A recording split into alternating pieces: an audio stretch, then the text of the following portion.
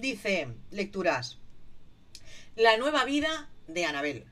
Recordad que eh, estábamos, comentábamos ayer que estaba o que había, perdón, rodado un programa para Canarias, para las Islas Canarias, en el que había recorrido un poco el archipiélago. No lo sé, a mí me da la impresión de que pueda ser, pues a modo como de, como de promoción de las islas, promoción del archipiélago, ¿no? Y, claro, ella, qué tan, qué tan em, cercana está a, o cercana es a, Canarias, pues bueno, em, ha sido elegida para realizar este programa antes de irse de gira, ya sabéis, con su tía, ¿no? al otro lado del charco, como se suele decir. Bueno, pues la cuestión es que esto tenía lugar eh, ayer, salía, y mira por dónde eh, vamos a hacer referencia a esas cosas que hacemos siempre. Y vuelvo a decir lo mismo, Anabel Pantoja, con la que yo mm, ni voy ni vengo.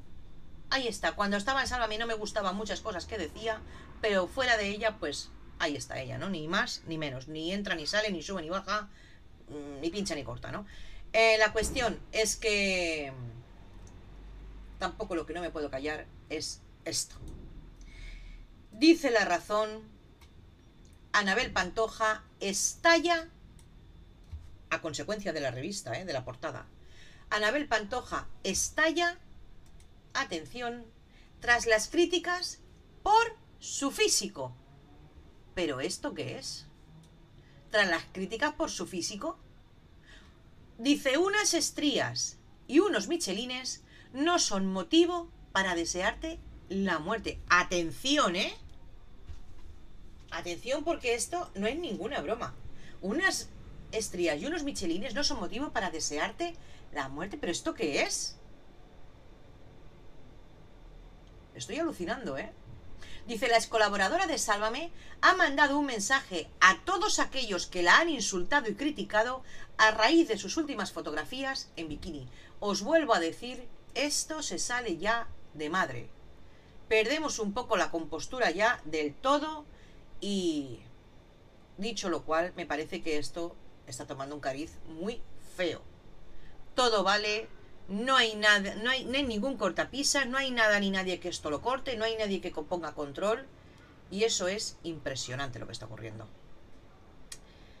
Eh, dice, Almanabel volverá cuando pierda popularidad en redes. No lo sé, eso ya se verá. La cuestión es que ella misma ha dicho lo siguiente. Quiero que no se promuevan los insultos ni las críticas al físico de las personas y que las madres tengan cuidado con los menores teniendo esa clase de redes sociales y que lo utilicen para eso. Además, ya no me ofendo, pero me da susto que la sociedad que tenemos en lo que se está convirtiendo. Porque unas estrías y unos michelines no son motivo para insultar o desear la muerte absolutamente increíble. La influencer cree que hay que mostrar la realidad y mostrar cómo cada una es, y si te pones un filtro, también. Cada uno es dueño de lo que sea, pero por favor vamos a dejar los insultos, y no porque me afecten, dice, sino porque me dan miedo. Absolutamente increíble, mis queridas, ¿sabes? Lo que ocurre en redes sociales, no me cansaré de exponer lo que ocurre en redes sociales. Que si bien son buenas para unas cosas,